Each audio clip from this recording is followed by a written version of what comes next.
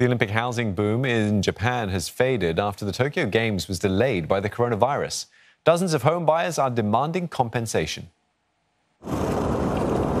They were to be the dream new homes for thousands of Japanese people who wanted a slice of the historic Olympic buzz. Enthusiastic buyers flocked to purchase condos that would house international athletes during the Japan Olympics. But with the event postponed for a year, the buyers' initial excitement has turned to dread as they've had their move in date pushed back. Two dozen buyers of the Harumi flag condos in central Tokyo have now started legal action against property managers and sellers and are demanding compensation. One buyer who spoke to Reuters wished to remain anonymous.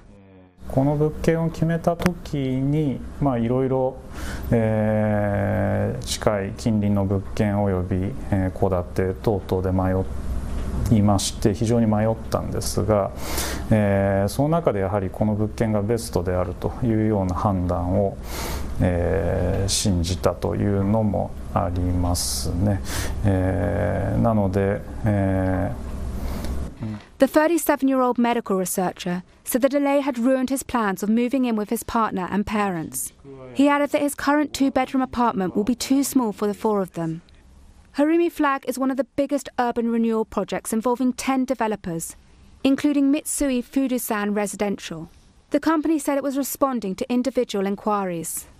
Japan's government paid almost $40 million to rent the buildings for a year to house the Olympic athletes. The lease was later extended for another year until the end of 2021.